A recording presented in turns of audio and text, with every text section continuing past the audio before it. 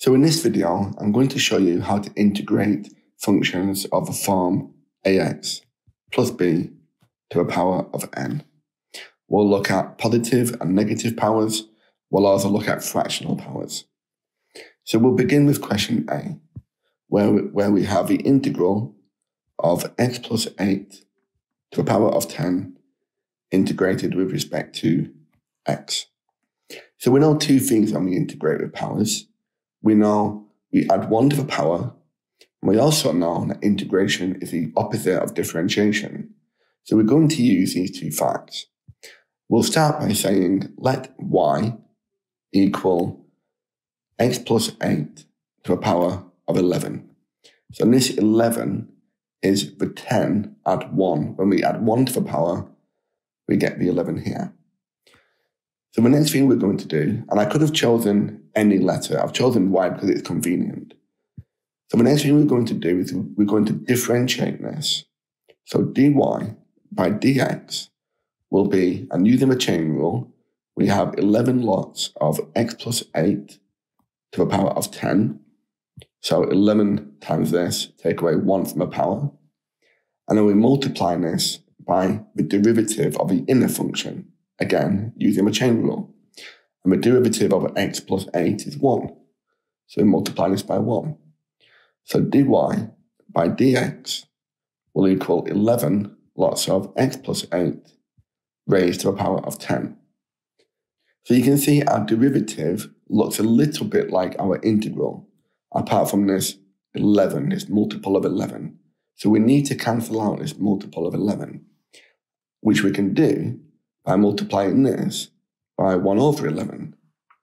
So this 1 over 11 multiplied by the 11 will cancel to make 1, and we have one lot here. So the integral will be 1 over 11 lots of x plus 8 to the power of 11 plus the constant c. Okay? Let's try question B. So in question B, we're going to integrate 2x minus 4 to a power of negative 2 with respect to x. So again, we need to begin by adding 1 to this power. So we'll say let y equal 2x minus 4 to a power of negative 1. Then we'll differentiate this function. So dy by dx Using the chain rule, we have negative 1 times, so negative 1, lots of 2x minus 4.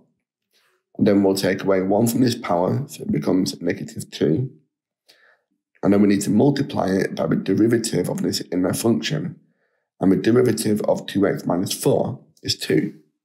So we'll multiply this by 2. So dy by dx will be minus 2 lots of 2x minus 4 to the negative 2. And now we need to scale this.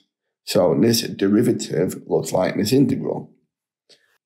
So we're going to multiply this by negative 1 half. Can you see that this negative 2 times the negative 1 half will give us this 1 here? Okay? So our integral will be negative 1 half lots of 2x minus 4 raised to a power of negative 1. Okay, let's try question 2. Okay, so for example 2, we've been asked to integrate y with respect to x. And for question A, we've been told that y is the square root of 2x plus 1. So the first thing I'm going to do is I'm going to write this using powers. So we'll have the integral of 2x plus 1 to a power of 1 half integrated with respect to x.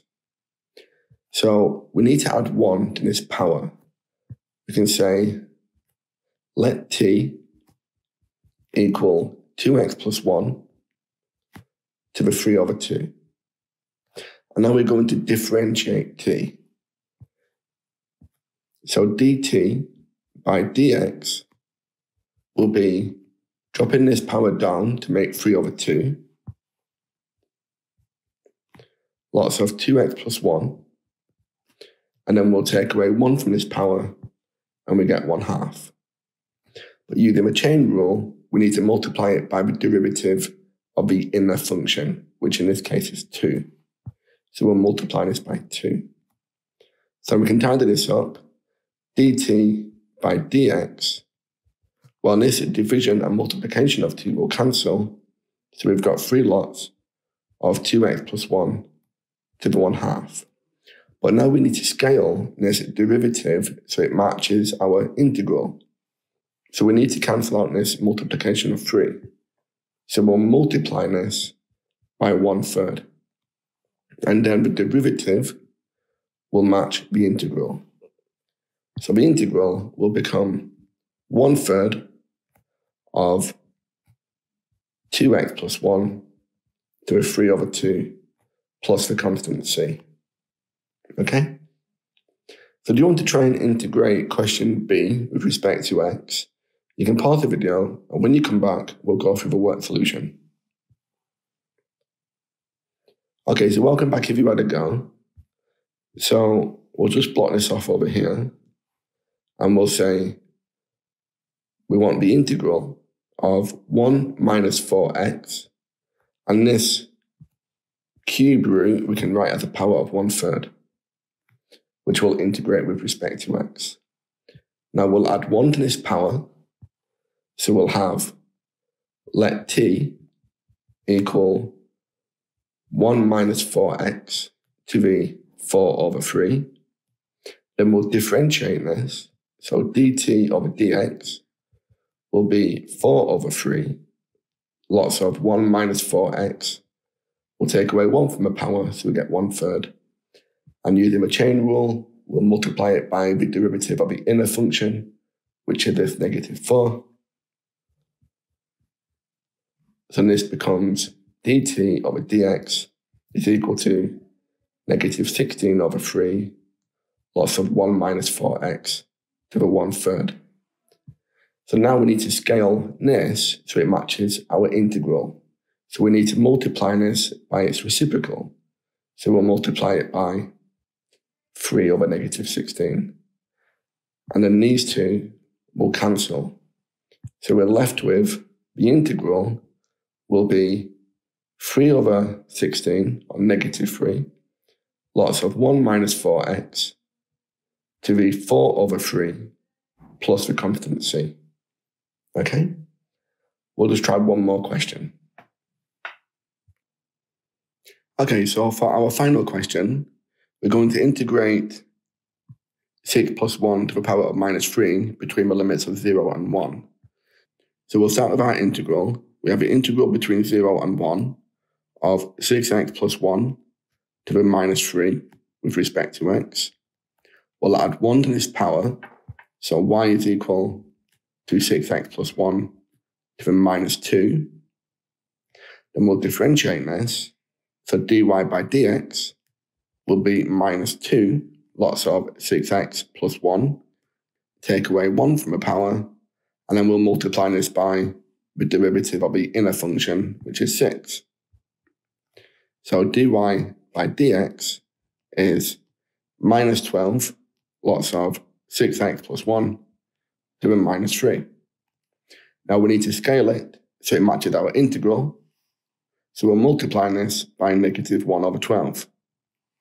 So this gives us our integral of minus 1 over 12, lots of 6x plus 1 to the minus 2 between the limits of 0 and 1.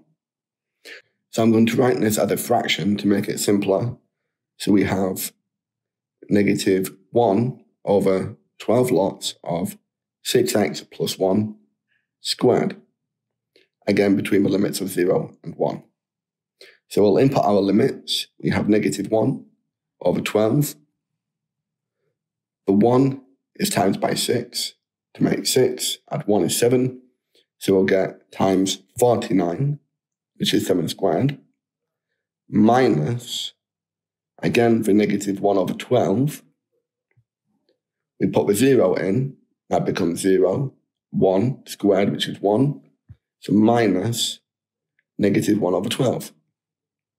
And then this negative and a negative become a positive, So we have negative 1 over 12 times 49 plus 112. And we can easily work this out on our calculators.